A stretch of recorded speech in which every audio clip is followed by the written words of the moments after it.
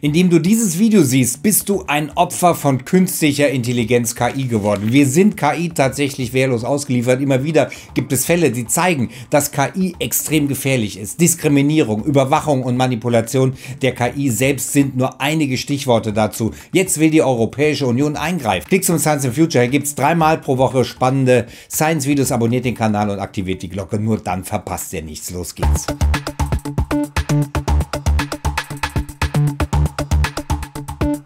Künstlicher Intelligenz führt kein Weg vorbei. Jede und jeder von uns kommt bereits jetzt immer wieder mit künstlicher Intelligenz in Berührung und das manchmal vielleicht sogar ohne, dass wir es bewusst mitbekommen. Allein in den sozialen Medien spielt die KI eine entscheidende Rolle, denn sie entscheidet beispielsweise, welche Werbung uns auf Facebook angezeigt wird oder welches Video wir auf YouTube empfohlen bekommen. Aber auch wenn wir uns für einen neuen Job bewerben, hat die KI ihre Finger im Spiel. In bestimmten Systemen ist sie es nämlich, die innerhalb der Bewerbungsprozesse eine Vorauswahl trifft. Auch im Bereich Versicherungen und Banken ist künstliche Intelligenz nicht mehr wegzudenken. Nicht mehr die Bankerinnen oder Banker entscheiden zunehmend, welche Personen einen Kredit in welcher Höhe bekommen, sondern die künstliche Intelligenz. Diese Beispiele machen klar, dass KI unseren Alltag und unser Leben enorm erleichtern kann aber eben auch das Gegenteil. Menschen werden in ihren Jobs durch solche Technologien unterstützt und Entscheidungen können schneller getroffen werden. Eine Beratungsfirma hatte im Herbst des vergangenen Jahres 2019 600 Unternehmensvertreterinnen und Vertreter in Bezug auf künstliche Intelligenz befragt. Großes Potenzial bietet diese nach Ansicht der Befragten hauptsächlich bei der Effizienzsteigerung und der Verbesserung von Prozessen. Vor allem in der Logistikbranche, der Produktion, der Sicherheit und Überwachung sehen die Befragten die künstliche Intelligenz als mögliche Unterstützung. Unterstützung. Doch welche Regeln gelten bei diesen ganzen Prozessen? Was darf die künstliche Intelligenz und was darf sie nicht? In welchem Rahmen bewegt sie sich und nach welchen Spielregeln? Klar ist jedenfalls, dass sie auch zur Bedrohung werden kann. Auch dafür gibt es einige Beispiele. Ein besonders extremer Fall, den gibt es in China. Hier wird KI verwendet, um die Bürgerinnen und Bürger zu überwachen. Die Rede ist vom sogenannten Social Credit System, ein datenbasiertes System, mit dem nicht nur die Menschen, sondern auch Unternehmen und Behörden kontrolliert und gesteuert werden können. Die Regierung möchte mit Hilfe von künstlicher Intelligenz das moralische, politische, finanzielle und soziale Verhalten überwachen und regulieren. Pluspunkte können die Chinesen und Chinesinnen möglicherweise schon in naher Zukunft sammeln, indem sie nett zu ihren Nachbarn sind und häufig ihre Eltern besuchen. Eine hohe Spendenbereitschaft und ein ordentliches Verhalten im Straßenverkehr werden auch belohnt. Minuspunkte dagegen beispielsweise gibt es, wenn man sich in den sozialen Netzwerken daneben benimmt. Wer dann nicht in die Kategorie A guter Mensch gehört, kommt auf die schwarze schwarze Liste und könnte unter anderem Schwierigkeiten bei der Wohnungssuche bekommen. Big Data und Big Brother könnten in China in der nahen Zukunft bereits zur Massenüberwachung schlechthin führen. Das Ziel des ganzen Vorhabens, das derzeit bereits in Pilotprojekten getestet wird, Zitat, die Vertrauenswürdigen sollen frei unter dem Himmel umherziehen können, während es den in Verruf geratenen schwer gemacht wird, einen einzigen Schritt zu tun. Hinzu kommt, auch datengeschützte Prognosen sind nicht immer zuverlässig. Auch hier kann es zu Fehlern kommen mit schwerwiegenden Konsequenzen, so wie bei dem folgenden Fall. Die Journalistenvereinigung ProPublica hatte eine Software genauer ins Visier genommen, die das Risiko berechnen soll, inwieweit einzelne Strafgefangene wieder rückfällig werden könnten.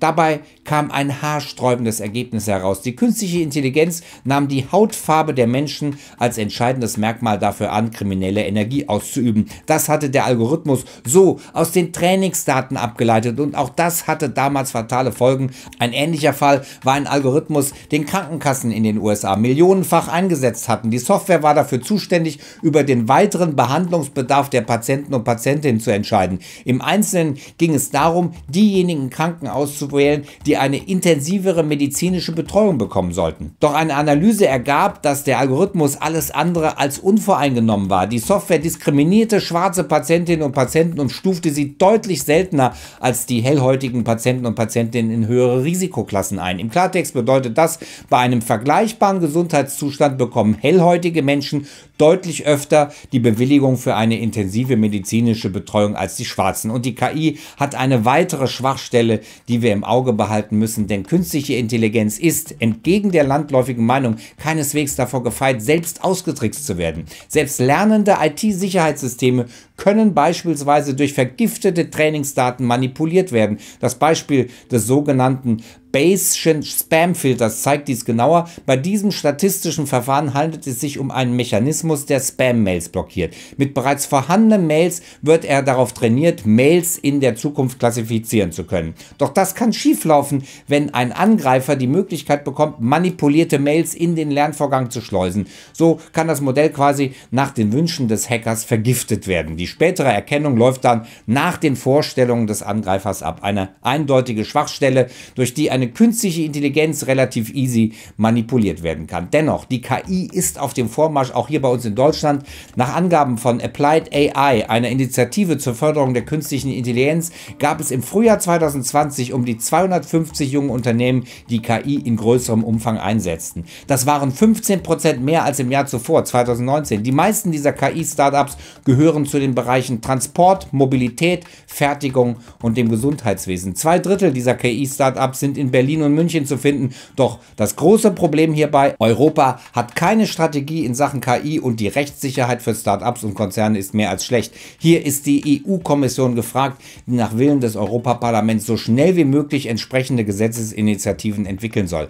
Enthalten sein sollen ethische Prinzipien, doch gleichzeitig wird auch eine Art Überregulierung befürchtet. Dazu sagt die Vizepräsidentin des Europaparlaments Nicola Beer von der FDP in einem Interview mit dem Handelsblatt. Wir dürfen nicht den Fehler machen, den neu aufstrebenden KI-Sektor in Europa im Keim zu ersticken, weil wir alles bis ins letzte Detail regeln wollen. Neue Technologien und Erfindungen brauchen Luft und Freiheit, um sie entwickeln zu können.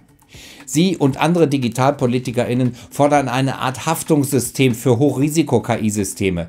Im Rahmen eines risikobasierten Ansatzes sollen risikoreiche KI-Anwendungen wie beispielsweise in der Medizin oder Software, die zur Überwachung genutzt werden kann, vorab auf ihre Sicherheit geprüft werden. Die EU-Kommission ist schon seit einiger Zeit dabei, einen klaren und berechenbaren Rechtsrahmen zu schaffen, in der die Nutzung der KI in der Europäischen Union stattfinden kann. Und dieses Vorhaben ist nicht ohne.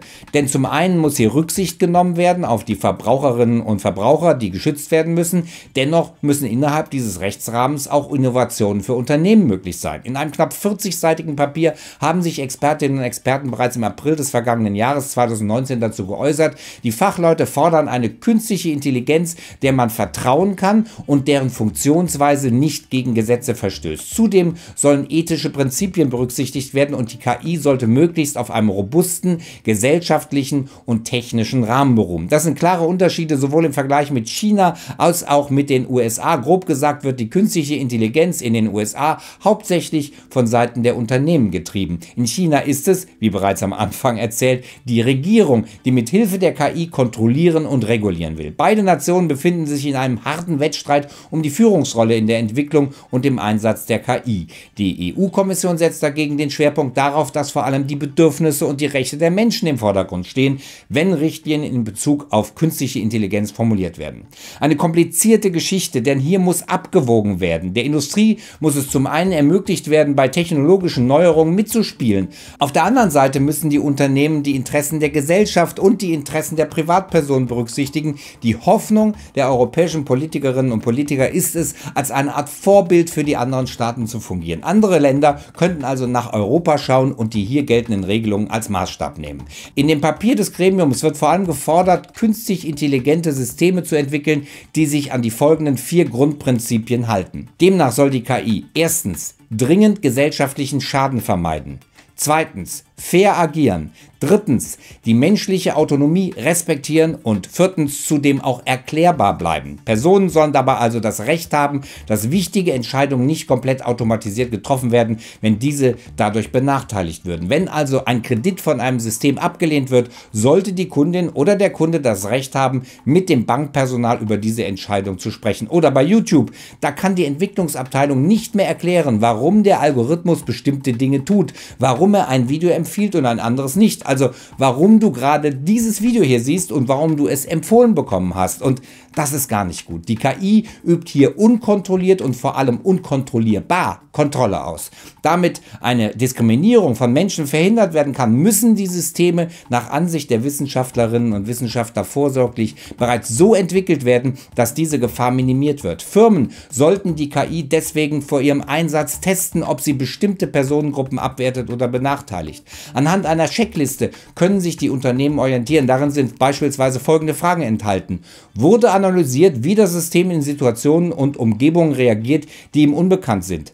Wird verhindert, dass sich Menschen zu sehr auf die KI und deren Entscheidungen verlassen? Und sind die relevanten Datensätze tatsächlich repräsentativ? Doch bindend ist das bisher alles nicht. Die EU-Kommissionspräsidentin Ursula von der Leyen sagte im Europäischen Parlament, Algorithmen dürfen keine Blackbox sein und es muss klare Regeln geben für den Fall, dass etwas schief geht. Sie fordert für die KI-Welt ein Regelwerk, das den Menschen in den Mittelpunkt stellt. Klar ist auch, dass es hier um viel Geld geht. Europa hinkt China und den USA bei den privaten Investitionen immer noch hinterher. Die EU-Kommission plant aber in Zukunft pro Jahr 20 Milliarden Euro in KI fließen zu lassen. Auch auf nationaler Ebene beschäftigen sich Fachleute damit, eine KI-Strategie zu entwickeln. Erst Ende des vergangenen Monats, Oktober 2020, 2020 hatte ein Expertengremium aus Bundestagspolitikerinnen und Politikern sowie Sachverständigen einen Bericht an Bundestagspräsident Wolfgang Schäuble übergeben. Nach zweijähriger Arbeit kommen die Fachleute zu dem Ergebnis, dass die KI, Zitat, nicht per se schlecht ist. Wichtig sei jedoch eine demokratische Gestaltung, die Zitat auf der Basis einer Übereinkunft über gutes und gerechtes Leben für heute und für zukünftige Generationen ist. Die eingesetzte Enquete-Kommission soll dem Bundestag bei der KI-Strategie Empfehlungen geben. Hier geht es weiter mit Roboter Sophia will Menschheit zerstören. Anklicken, anschauen und abonnieren. Bis dann. Bleibt dran.